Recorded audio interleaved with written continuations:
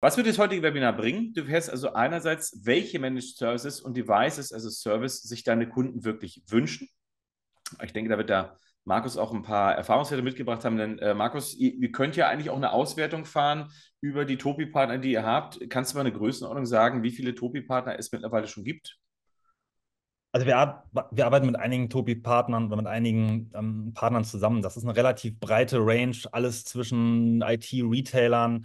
Ähm, angefangen haben wir mit einer ähm, großen Apple-Kette, mit der Firma Gravis, die, die wahrscheinlich auch ähm, relativ viele kennen. Das heißt, im Hardware-Bereich gestartet. Mittlerweile eben aber auch mit relativ vielen Systemhäusern. Das heißt, wir haben eben den Weg von der Hardware gefunden, über alles, was dazugehört, über Zubehör, über jetzt diese entsprechenden Services, Dienstleistungen, dass wir eben jetzt mittlerweile das Komplettpaket wirklich anbieten können. Nicht nur für euch, sondern auch für ähm, für unsere gemeinsamen Kunden dann.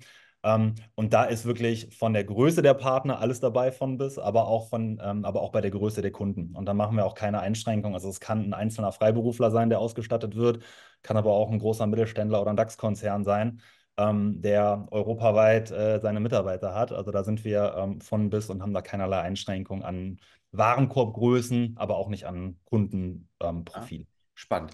Wenn du vielleicht zwischendurch nachher äh, gucken kannst, was vor allen Dingen so für Dienste verkauft werden, vielleicht gibt es ja so bestimmte Highlights wie Workplace as a Service, Managed Firewall oder so, vielleicht kannst du uns ja nachher mal Einblicke geben, was da besonders angesagt ist. Wir zeigen euch auf jeden Fall, wie du diese Managed Services und Devices as a Service konzipieren, kalkulieren und mit haftungssicheren Verträgen verkaufen kannst. Ganz wichtiges Thema.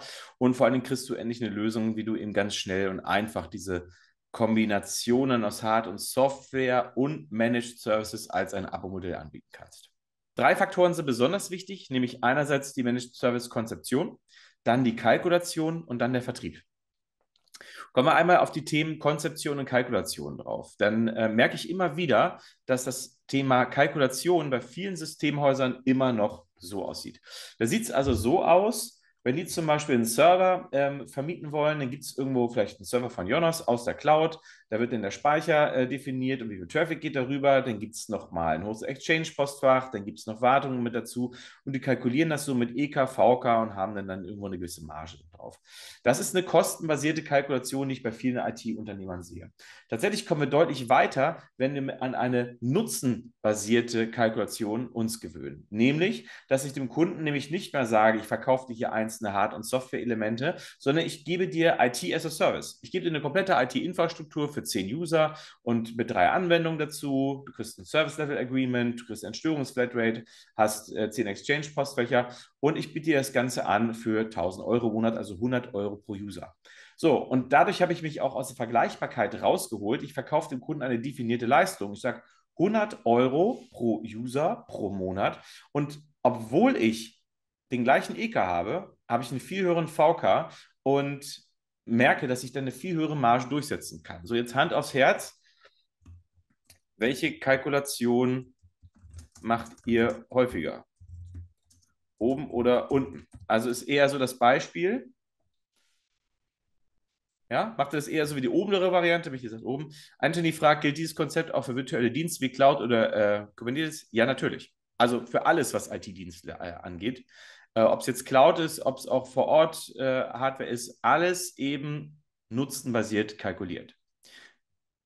So, das heißt, wenn du Managed Services einkaufst und dann mit identischem Umfang weiterverkaufst und das einfach nur, indem du eine Marge aufschlägst, dann bist du ein Cloud-Kistenschieber. Ja? Du schiebst eigentlich genauso Kisten, wie du früher gemacht hast, wo du Monitor und PC eingekauft hast, mach eine kleine Gewinnmarge drauf und dann wird aber dein Managed Service-Geschäft niemals profitabel sein.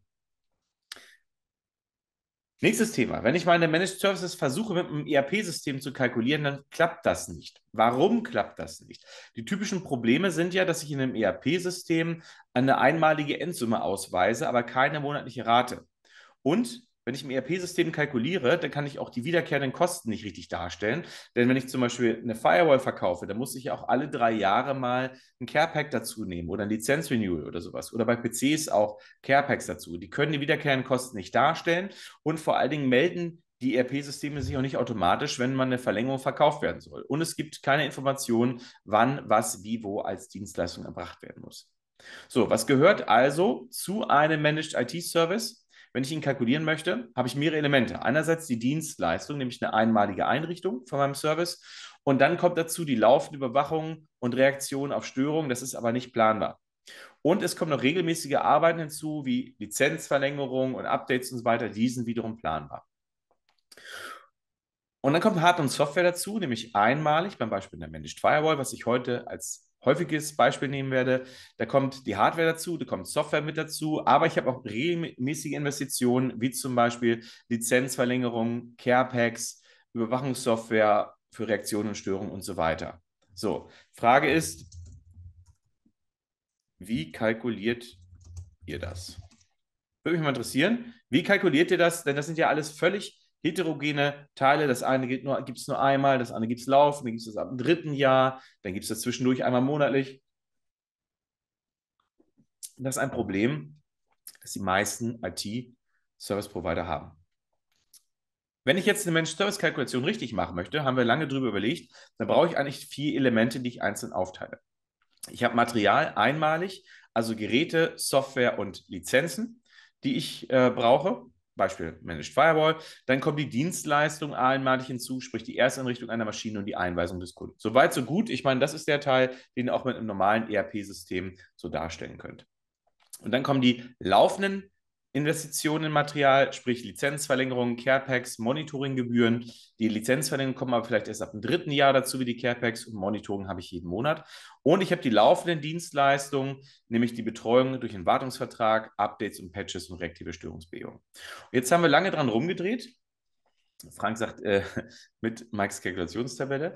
Und tatsächlich ist da ja ein Kalkulator geworden, der folgendermaßen funktioniert. Wir haben uns nämlich überlegt, ich nehme jetzt mal bei einer Managed Firewall, nehme ich mal alle Hardware- und Software-Elemente, die ich brauche, einmalig an Material und kalkuliere die. Ähm, ECAS habe ich jetzt ausgeblendet, aber ich kann mir die natürlich auch genauso anzeigen lassen. Dann kommen die einmaligen Investitionen in Dienstleistungen, nämlich die erste Einrichtung acht Stunden und eine passende Anfahrt dazu. Und jetzt kommen die laufenden Elemente dazu. In diesem Falle die Subscriptions, hier ist es bei der Secure Point Firewall, dass ich nach drei Jahren eine Verlängerung haben muss. Aber ich sehe, wie häufig kommt das vor? Dreijährlich. Und man muss sich zum ersten Mal reinpacken, erst nach 37 Monaten. Genauso hier eine Erweiterung für die User kommt auch mit hinzu. Dann gibt es aber vielleicht andere Services, die jedes Jahr dazu kommen. Das heißt, die brauche ich jährlich und die brauche ich ab dem 13. Monat. Alle diese Elemente kann ich in den Kalkulator reinschmeißen. Und es kommen die laufenden Investitionen in Dienstleistungen, sprich, ich habe einen kleinen Wartungsvertrag dazu, wo ich eben auch die Firewall äh, monitore und die Firmware immer aktualisiere, wo ich ein bisschen was reinrechne für Benutzerverwaltung, Troubleshooting und noch eine gewisse Reservekalkulation. Und alle diese Elemente schmeiße ich rein. Und völlig egal, ob sie einmalig oder monatlich oder dreijährlich drin vorkommen, wenn ich das alles reingeworfen habe, passiert ein kleines Wunder. Der Kalkulator schmeißt mir das zusammen und er sagt mir, was ich jetzt nachher als Managed Services anbiete. Nämlich zum Beispiel diese Firewall bei drei Jahren Laufzeit für 174 Euro im Monat. Ich kann also sagen, wenn ich zehn User dort habe, zahlt der Kunde nachher ungefähr 17 Euro pro User pro Monat und dann ist das Thema Internetsicherheit für ihn gegessen. Das habe ich durch die Kalkulation hinbekommen. So, und genau das, das können wir nachher eben halt auch schaffen über ein passendes Abo-Modell, was wir mit Topi darstellen können, dass das Ganze auch wirklich zum monatlichen Festpreis für Kunden eingezogen wird. Ähm, ich frage mal kurz den, den Frank, weil du das gerade eben angesprochen hast, Frank Winkler, du arbeitest jetzt ja schon mit dieser Kalkulationstabelle. Ähm, Frank, seit wann arbeitest du jetzt so mit der Kalkulationstabelle? Ja, Servus, Grüße. Ähm, wann haben wir angefangen? Ende 21, hatte ich jo. gesagt. Also gut zwei, zweieinhalb Jahre inzwischen, genau. Kriege gerade die meine, meine Kamera ist gerade ausgefallen. Ja, und was hat das jetzt bei euch verändert, dass ihr jetzt plötzlich dieses ähm, System auf die Art und Weise genutzt habt? Also die Kalkulation, da hast du ja sonst vorher auch mal mit ERP-Systemen gearbeitet, oder? Naja, ich sag mal, wir haben das schon vorher auch mit einer Excel-Tabelle äh, in solchen Fällen gemacht, aber äh, deine war jetzt natürlich noch mal ein Stück weit optimiert dafür. Und äh, das hilft natürlich, weil du relativ schnell auch einen Mitarbeiter mal das in die Hand drücken kannst und sagst, hier, trag die ganzen Werte ein.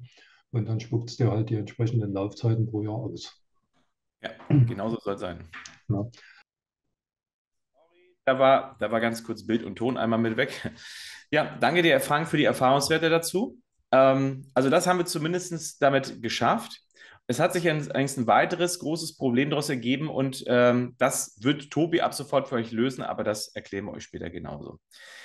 So, jetzt haben wir das Thema Kalkulation auf der einen Seite gehabt, aber es gibt immer noch ein, das Problem des Managed Services Verkaufs. denn Techniker hassen den Verkauf. Ist das bei euch genauso? Hassen eure Techniker auch den Verkauf? Ja. Und egal mit welchen IT-Technikern du dich unterhältst, verkaufen ist ja fast was Unehrenhaftes, ja. Die sagen, äh, ein Vertriebler. Nee, ich bin ja ein Techniker, ich bin ja einer von den Guten. Und tatsächlich ist es so, dass der einfache Vertrieb bei Managed Services eine der erfolgsentscheidenden Faktoren ist. Das heißt, wie sorgst du jetzt dafür, dass jeder deiner Mitarbeiter am besten im Servicetermin ganz einfach und nebenbei Verträge verkaufen kann? Oder eben Hard- und Software im Abo-Modell. Die meisten Techniker, mit denen ich mich unterhalten habe, haben dieses Bild von sich, wenn sie aktiv einen Kunden ansprechen müssen. Sie denken, sie sind der böse Verkäufer. Sie denken, sie müssen was verkaufen, sie müssen dem Kunden irgendwas aufquatschen, was er nicht braucht, sie müssen ihm etwas anbieten, wovon sie selber nicht überzeugt sind.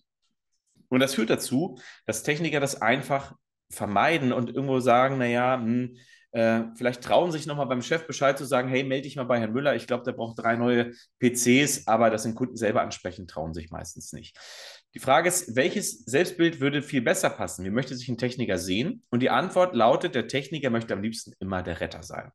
Der möchte das Gefühl haben, ohne mein Eingreifen passiert ein Unglück und dank meiner Hilfe kann der Kunde viel, viel besser arbeiten und der Kunde ist für meine Arbeit wirklich dankbar. Das ist das Wunschbild, was jeder Techniker von sich haben möchte. Und daran haben wir uns jahrelang die Zähne ausgebissen. Wir haben eine Zeit lang gesagt, Vertriebler äh, verkaufen und Techniker haben überhaupt nichts mit Verkauf zu tun. Wir haben aber jahrelange Versuchsreihen gehabt und so nach äh, zwei, drei Jahren hatten wir den endlich einen Weg gefunden. Das waren unsere sogenannten Lösungsflyer. Das bedeutet, das Erfolgsrezept dahinter waren die Lösungsflyer, indem wir einfach alles zusammenfassen auf einer einzelnen DIN A4-Seite, was zum erfolgreichen Verkauf eines Managed Services gehört. Ich frage in der Runde, wer verkauft alle seine Managed Services von je einer DIN A4-Seite aus? Gucken, mit denen es zutrifft. Über 60 IT-Unternehmer. Ja, Frank hat es ja schon gesagt. Rainer macht das auch schon. Timo. Okay, paar bekannte Gesichter bei uns aus dem Coaching. So, warum? Ich fasse alles auf einer DIN A4-Seite zusammen, was zum Managed Service Verkauf gehört. Und so fühlt sich nachher der Techniker auch wohl. Es fühlt sich für ihn nicht wie Verkaufen an. Und der Kunde unterschreibt nachher begeistert den Vertrag. Und genau das ist auch die Idee, auf die wir heute hinausfallen. Das heißt, wenn ich hier so eine Managed Firewall habe und das Ganze nachher verkaufen möchte und dass du so monatlichen Preis hier für 89 Euro oder 149 Euro, das Ganze nachher einfach refinanziert über Topi im Abo-Modell, das ist nachher genau der Punkt, wo wir rausgehen wollen. Aber entscheidend war das Aufbauen des Lösungsflyers. Wie sind diese aufgebaut? Auf dem oberen Teil des Lösungsflyers machen wir immer drei Qualifizierungsfragen stellen drei Qualifizierungsfragen als geistige Brandstiftung. Das heißt, wenn ich beim Kunden draußen bin, kann ein Techniker den Kunden ansprechen und fragt ihn, sagen Sie mal, wie sicher sind Sie eigentlich, dass Sie optimal vor allen aktuellen Bedrohungen aus dem Internet geschützt sind? Sagt der Kunde, naja, hm, weiß ich nicht, ich habe ja so eine Fritzbox. Aha. Und was würde passieren, wenn jemand unbemerkt über das Internet Ihre vertraulichen Daten stehlen würde?